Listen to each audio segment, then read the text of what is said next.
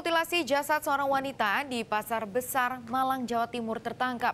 Terduga pelaku seorang pria mengaku aksi mutilasi atas dasar permintaan korban dan juga bisikan yang ia dengar. Satu hari setelah ditemukannya potongan tubuh seorang wanita di bangunan eks supermarket Pasar Besar Malang, Jawa Timur selasa kemarin, Rabu petang, polisi menangkap pelaku mutilasi. Dalam foto ini nampak seorang pria terduga pelaku sudah diamankan aparat Polres Malang Kota.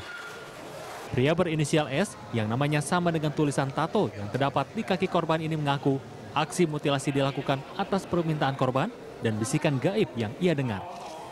Pelaku memotong tubuh korban setelah tiga hari korban meninggal dunia akibat sakit. S juga mengaku baru mengenal korban selama sembilan hari saat itu korban sudah dalam kondisi sakit dan tak lama kemudian meninggal dunia di lokasi pasar lama.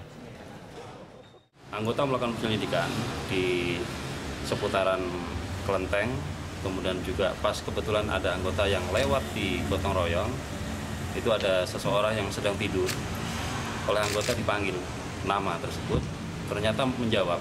Dan posisinya adalah posisi sama pada saat anjing itu berada. Ditangkapnya terduga pelaku mutilasi S ini tak lepas dari peran anjing pelacak yang dikerahkan polisi pada Rabu sore. Awalnya anjing melacak dari lokasi temuan potongan anggota tubuh korban dan bau pakaian yang diduga milik pelaku.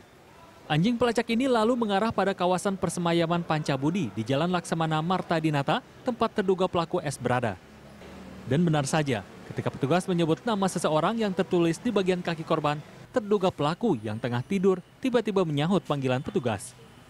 Hingga kini polisi masih mendalami keterangan S sambil menunggu hasil otopsi jasad korban termasuk dengan mendatangkan ahli kejiwaan. Abdul Malik, Malang, Jawa Timur.